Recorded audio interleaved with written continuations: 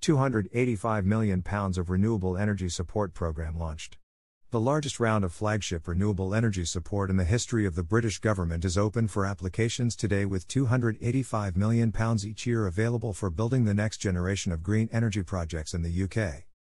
Renewable energy projects across the UK can now bid for funding in the fourth round of the Contract for Difference CFD program, which aims to ensure 12 gigawatts of power capacity, more than the sum of the previous 3 rounds. Compared with the previous round, this is open to more renewable energy technologies.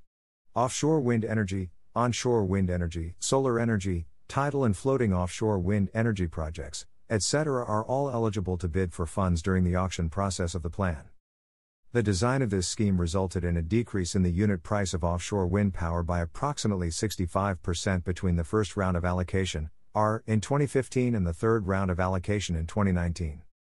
Kwasi Kwarteng, the Business and Energy Secretary, said, the largest renewable energy auction in history that we hold today will consolidate the UK's position as the world leader in renewable electricity, while supporting the country's new, future oriented industries to create new jobs.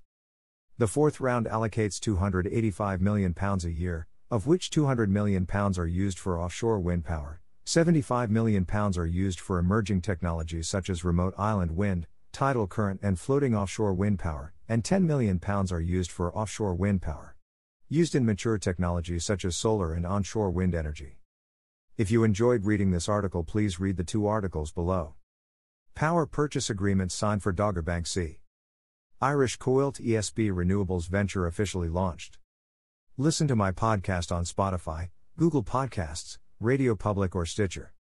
Or visit the following website www.fullycharged.show.